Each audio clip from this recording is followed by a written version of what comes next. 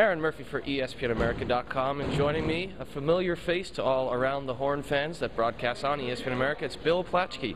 Thanks for taking the time to join us here on ESPNAmerica.com, Bill. Thanks. We love it. We love broadcasting to Europe. We love all of our fans over there, and they're crazy enough to watch us. We're crazy enough to, to be happy with them. Uh, excellent. Now, we both were saying there off camera that maybe a disappointing game for the Devils in Game One. What was your impression of the first first night? Yeah, I thought the Devils were a little bit overwhelmed. I thought the Kings came out there and punched them in the mouth a little bit, and uh, I think that you know I think the Kings are a better team. I think to me they're a better team. Clearly, they're a better team. The Devils have got to win tonight, or this thing's not going to last very long. Keys tonight, again, we were talking maybe Ilya Kovalchuk didn't have a great game.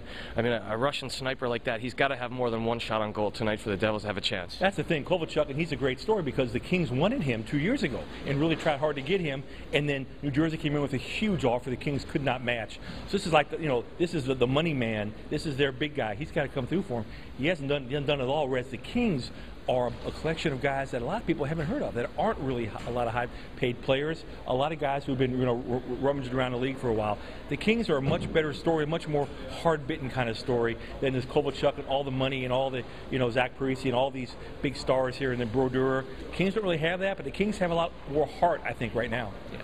I mean, Jeff Carter said it best yesterday. It was just like basically get the puck to the net because it's hard to beat a, a legend like Marty Brodeur. 40 years old. We should all be so lucky to be that good at 40.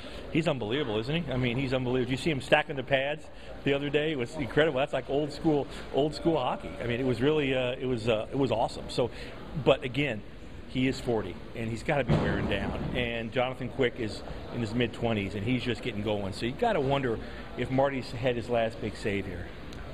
We'll see tonight, and you can follow along on ESPNAmerica.com. Thanks for taking the time to join us here This today, Bill. Awesome. Anytime with you guys. Love you guys. Cheers. Thank you.